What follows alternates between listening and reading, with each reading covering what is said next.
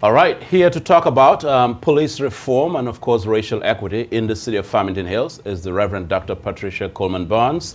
Uh, she is the senior pastor at the, at the, First African Methodist Episcopal Church, alongside, of course, Danielle Ware, who is the president of the Community Equity Organization. Both of them teamed up uh, for the recently fourth annual John H. Burns Conference on Community Policing. Thank you all for being here. Thank you for having us. Absolutely. And I want to begin by saying um, congratulations and happy birthday. Thank for, you. I'm not going to say how old you yeah, are, Reverend. 75. 75 years and looking yeah. looking younger with 75. Thank you. And happy Thanksgiving to you all as well. Yes. Thank you. I want to begin with um, the question of police reform, equity in the city of Farmington Hills. Um, you both have taken on this gigantic task of, of trying to perhaps, you know, in the words of Martin Luther King, bend the moral arc of the universe. Yes towards justice in the city of Farmington Hills.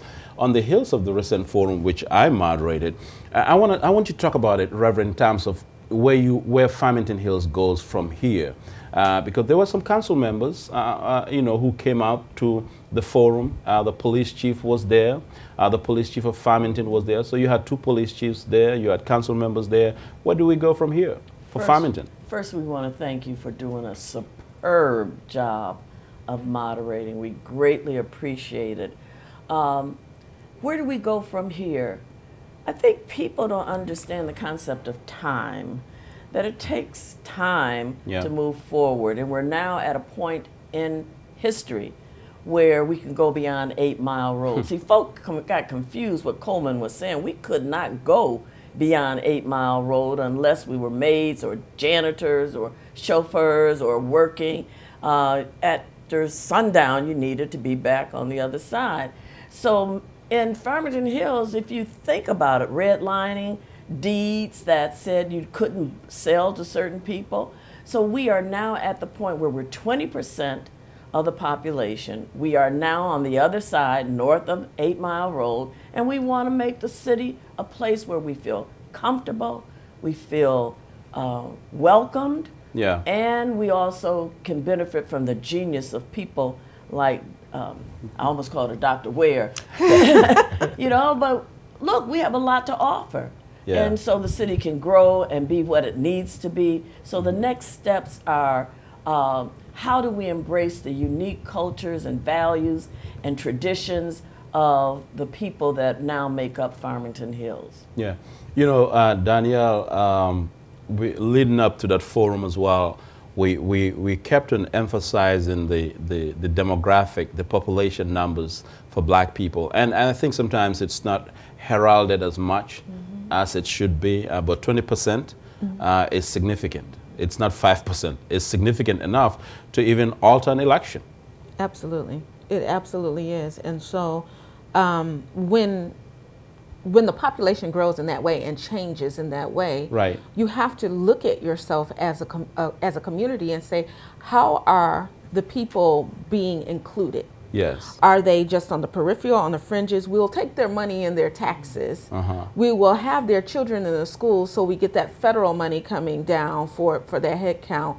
But other than that, we won't see them as human. We won't engage with them to make sure they're included in the community or do we alter our way of doing things mm-hmm. to make sure that everyone is seen in the community, their culture, their um, their respective beliefs, mm-hmm. and make sure they're respected and protected mm-hmm. as as each and every one mm-hmm. is in the community. You know, th- there's a school of thought, uh, Reverend uh, Burns, that tends to think that when we talk about police reform, when we're saying, you know, mm. treat black people right, they tend to think that we are overreacting it's a question of just obey the law. Can you just uh, respond to that?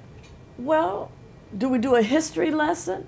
Do we do Emmett Till? Was Emmett Till overreacting or his family to protect him? Where can we go? So the sense is, for some reason, because race, if you know very well, is not a scientific concept. Mm-hmm. It is not biological. It is not genetic. So yeah. what is it? Yeah. So what is it in my behavior or in the way I carry myself? An artificial or, construct. Yes. Go ahead. That uh, somehow you look at me and I'm a threat and I'm dangerous. Mm. And so I think I'm not overreacting. I'm dealing with the reality that I experienced for 75 years. Mm-hmm. I, you know, of course, I didn't remember when I was one, right, right. but you know, it's it's a it's a history, and so no, we're not overreacting. We are hypersensitive. That is, we see things coming our way that are dangerous to us and to our families and to our children. It was the way I was raised. My mother was a very mild mannered woman, understood when her children were under threat, and therefore would call us in. Uh, and so we have a long history and experience of being targeted, of microaggressed, of being called out in ways that are, again, harmful and traumatic to us. So, um, what are people saying when they say that we overreact? They're saying that we get everything that we deserve, and Yeah. therein is a, a big problem. Yeah, yeah, and, and Danielle, and, and you know that overreaction to to Reverend's point in terms of just decimating that that that kind of a nonsensical view, but it's out there. They say you know just you know. In fact, I remember. Uh, when I write columns in, in the Detroit News, I see some of the comments. Bankole, just tell your people to just, you know, you know, behave when they get pulled over by the police. Uh, it, it's it's so ridiculous because they're not in that position, right? Uh, you know, you, when Yeah. you speak from a privileged point of view, you don't know what it means to be to be wearing an underprivileged uh, space, to be in an underprivileged space. That's so true. Um, I I was doing a talk about a couple of weeks ago at a church, um, and one of the things I pointed out to one to to the group there is, you as a white man, for example, not you, but in Right. the audience, when you are pulled over, you would be offended if someone asked you, "Where are you going? Hmm. Why are you here?" That's right. why why are you or, or whose car is this and why do you have it? Um, you wouldn't feel like those are appropriate questions for for police to be asking you. Mm-hmm. And therefore you wouldn't answer. But mm-hmm. you're given that grace to speak back to them and ask them questions. Like why are you asking me that question? You don't have the right to know. You mm-hmm. can spout the law to them and it not turn turn around and be you get out the car and get arrested for spouting the actual law that is supposed to be governing your body as well. Um, so people seem to not understand that this is what we experience. And all we're simply saying is this is wrong. And when you are doing this, we expect it to change, and we're going to fight to have that change. You know, um, thank you, Danielle. Uh, so after November the 12th, right. I After the conference After the conference, the. John H. Burns conference, I debriefed with my son, who's mm-hmm. 42, mm-hmm. raised by John Burns and mm-hmm. Pat Coleman Burns. And he said, and it's something that John also experienced, we are a transformational culture and people. And so our men show up very differently than the traditional model, we hope, of manhood. Mm-hmm. And my son said, as he carries and takes care of his children, mm-hmm.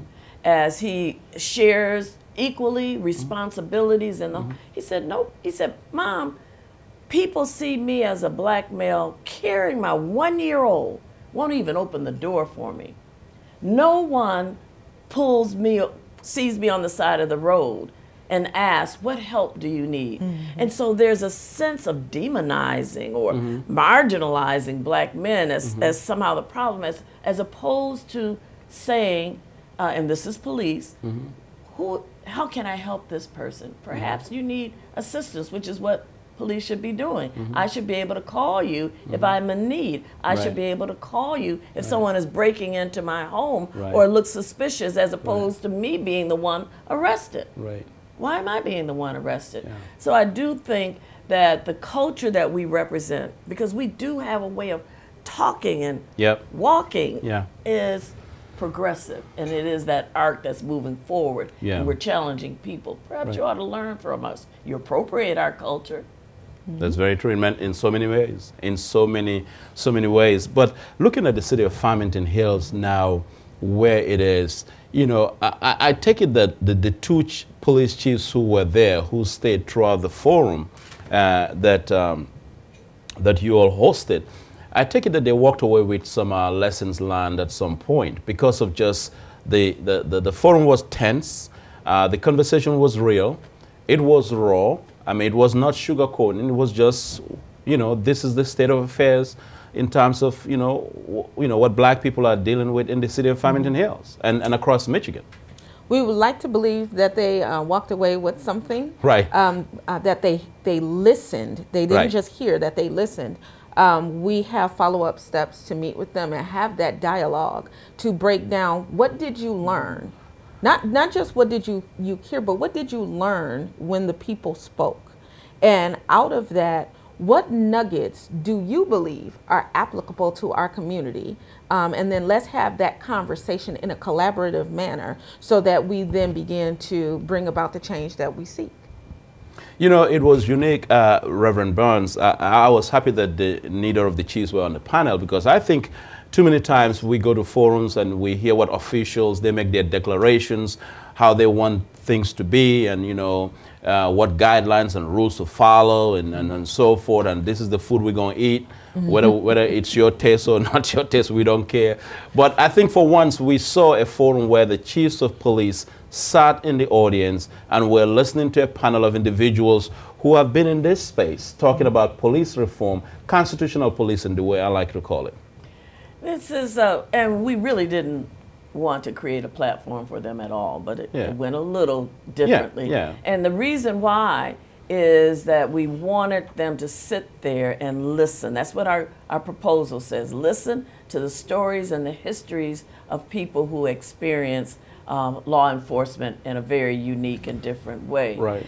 And so, what I also think when we focus on the community and equipping them to understand both the civics, the laws, the policies, and the procedures, they're better able to handle it. Yeah. For example, the police chief and the uh, director of uh, public safety in Farmington and Farmington Hills, uh, they are appointed by the mayors.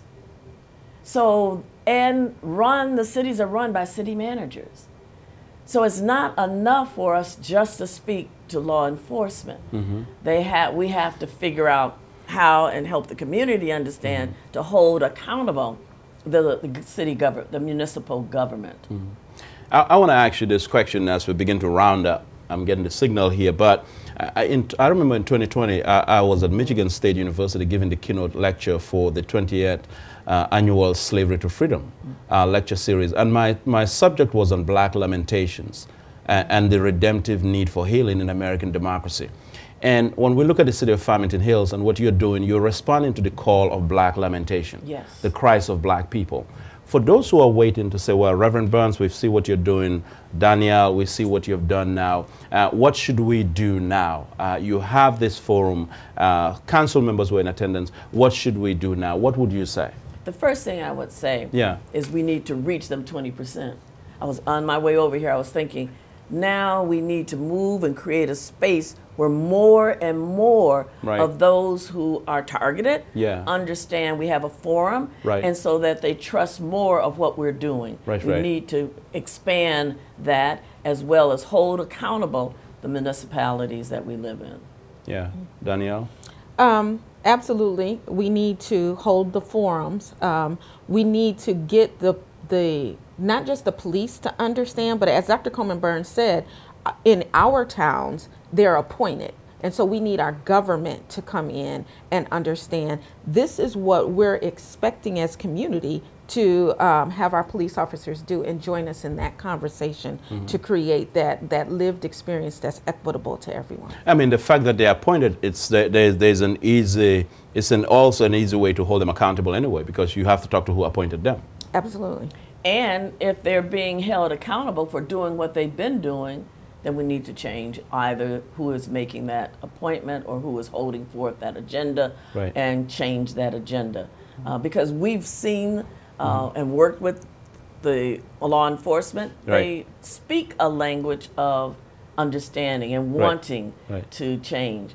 But sometimes the powers that be over them that hold Right. their paycheck and Right. Yeah. We just give them the benefit of the doubt. Yeah, well, we'll keep watching and following the good work that both of you are doing. The Reverend Dr. Patricia Coleman Burns is a senior pastor at the First African Methodist Episcopal Church of Farmington Hills, and Danielle Ware is the president of the Community Equity Organization. Of course, uh, they're raising Cain and raising hell in the city of Farmington Hills. I call it Black Farmington, y'all. Black Farmington Hills. We'll be right back with more on Sunday Nation. I'm Bankole Thompson. Stay with us.